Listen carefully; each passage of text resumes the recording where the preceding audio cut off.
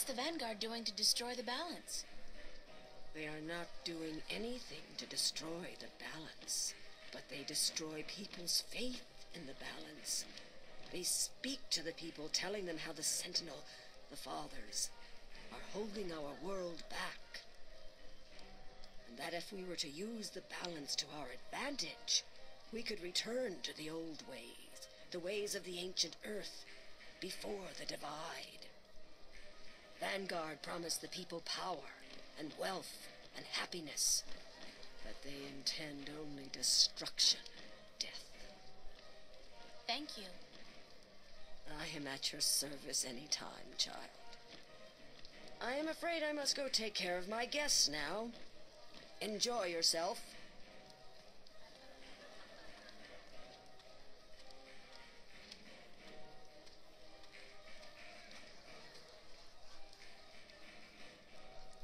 Someone new enters the scene. Um, but before we talk to him, let's take a look around here. Assorted bottles, herbs, and spices. Oh, I was hoping she'd just say shelves.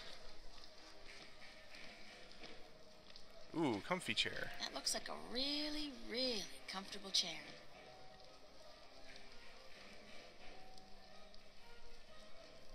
It's their first date, I can tell. They're a cute couple. I wonder if romance is different here or if the rituals are the same as back home. I mean, magic must play some part in it. Now there's an intriguing thought. What a strange creature. Uh, this guy has a very interesting outlook on the world, as you will soon see. Thank you, April Ryan. What? There is no time here, but there soon will be time for you and I. Time enough to be sure. You are speaking to me, April Ryan. We have spoken. I don't understand what you're. And how do you know my name? Who are you? Have we not met yet? I was sorry then for confusing you. I will be Abnaxus of the Venar, ambassador to the Ireed Council in Marcuria for a time. I think I would have remembered you if we'd met. Who told you my name? You did. You are saying your name to me, April Ryan. In this moment, you tell me your name. You question why I know your name, and you speak to me the blessings of the balance for my long journey home. Sorry, I really don't know what you're talking about. It is difficult for us too, April Ryan, to understand you.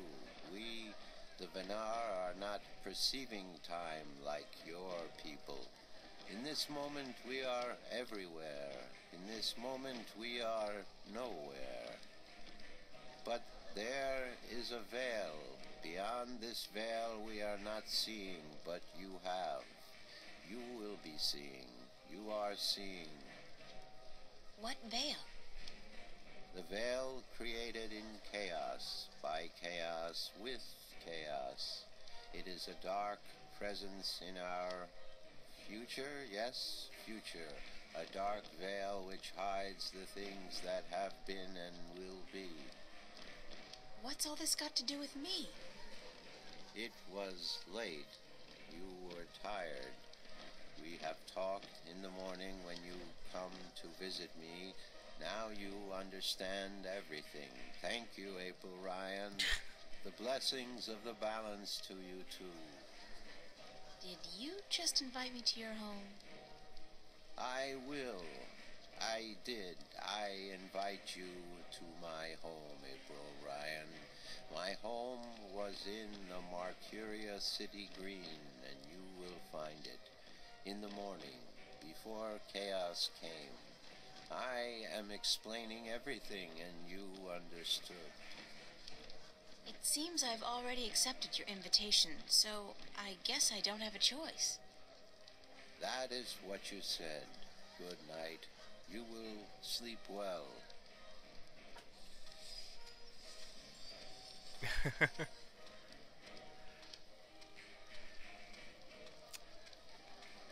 Must be very confusing when everything is happening to you at the same time, so to speak. Uh, wreaks havoc with your grammar as well.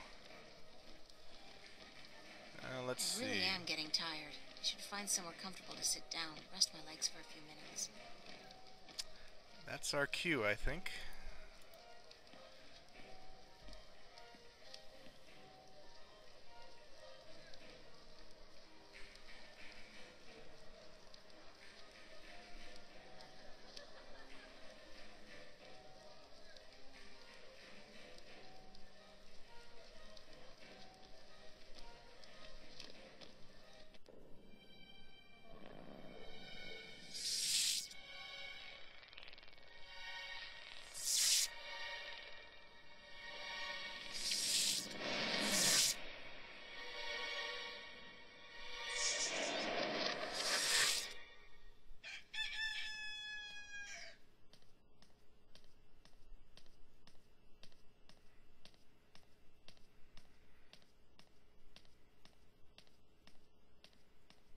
Wake up, child.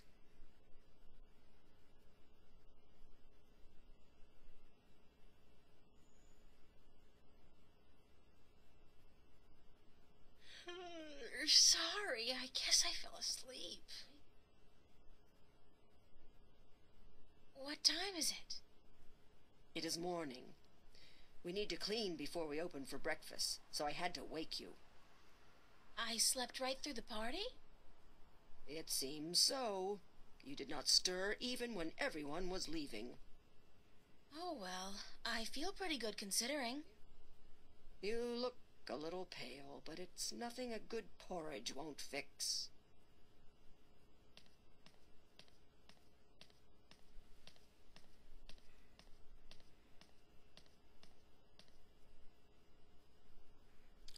So in the last cutscene there, it looks like Cortez is either being experimented on or tortured. So kind of an ominous counterpoint to the party here. Um, but we're running short on time, so this video will end here. And the next video, we will uh, speak more with the innkeeper.